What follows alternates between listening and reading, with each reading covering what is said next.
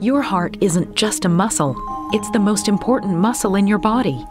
Beating 103,000 times and pushing more than 20,000 pounds of blood through the body every day. It needs energy and lots of it to function properly. Deprived of that energy, it feels the drag and cramps up. What brings energy to the heart? ATP. And what brings ATP to life? Magnesium. MgATP is the heart's main source of energy. It can't function without it. Our heart ventricles have the highest concentration of magnesium of any tissue in the body, yet most of us don't get enough daily, to dire consequences. There are over 800,000 fatal heart attacks every year.